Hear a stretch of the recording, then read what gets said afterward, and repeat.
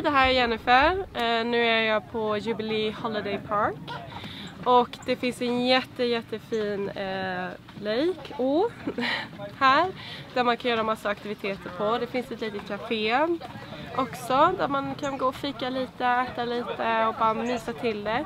En jättefin eh, familjepark där man eh, kan komma hit med familjen men också campa med era vänner och annat. Det är jättefint, det är jätteskönt här.